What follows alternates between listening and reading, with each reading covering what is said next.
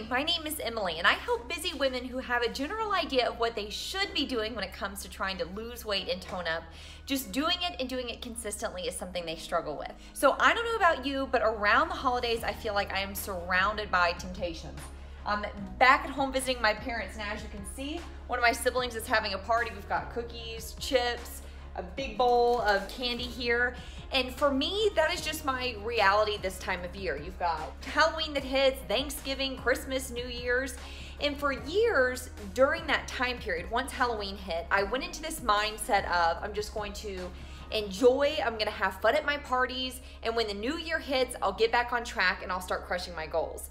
But you know what the problem is? The average American woman gains 8 to 12 pounds between Thanksgiving and New Year's. You heard me right, 8 to 12 pounds.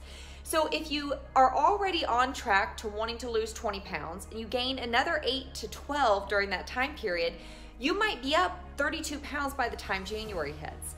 And I don't want that to happen. So what ended up happening for me, because I would constantly go on this yo-yo, this roller coaster during the holidays, is I hit this point where I'm like, look, I'm gaining weight, I'm not feeling so great, my energy is in the toilet, my self-confidence isn't you know, where I want it to be, and you're seeing all these friends during that time period, you're visiting family during that time period, you should want to look and feel your absolute best.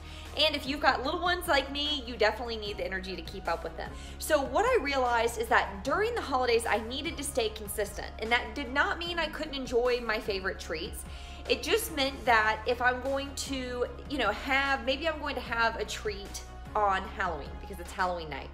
I don't need to just have treats all day long. So for example, today what I did is I woke up, I did my workout, I had a really healthy breakfast, I had a protein shake for a snack.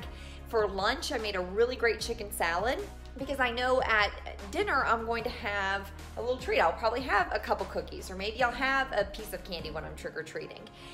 So tomorrow morning, guess what? I'm gonna wake up and I'm gonna get right back on track. I'm gonna work out again and I'm going to get back on track with my clean eating. So my number one tip for you is just to remember that consistency is key this time of year. Don't allow the holidays to be an excuse. Don't allow being able to bundle up under layers and layers of clothes. Don't let that be an excuse to just put your goals to the wayside.